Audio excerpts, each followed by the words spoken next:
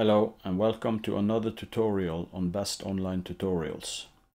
In today's video I'm going to show you how you can add an audio track or a music to a Canva video or a photo and the way you want to do this is to uh, first I'm going to show you how to add a audio track to a video.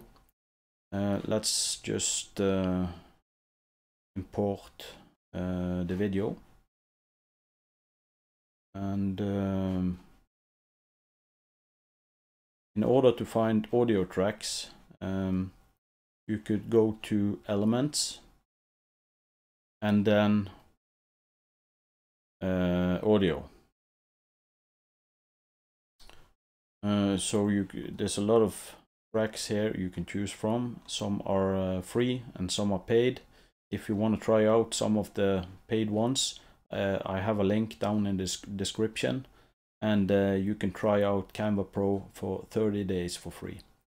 And um, let's say you want to uh, use uh, this one you just drag it. Drag it like this and as you can see uh, it's a uh, we have audio track to our video. Looks kind of cool. And uh, the second thing I want to show you is how to add an audio track to a photo.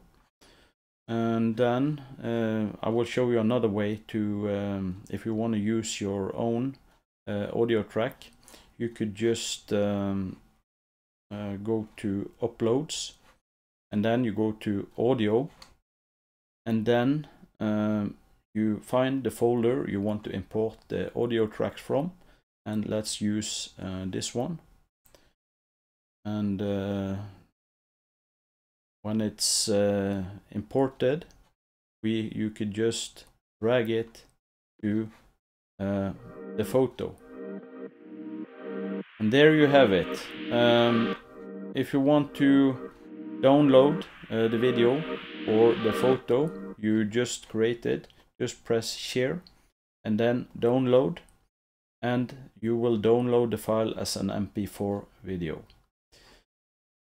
If you uh, enjoyed this video please leave it a thumbs up and subscribe to this channel and I will see you next time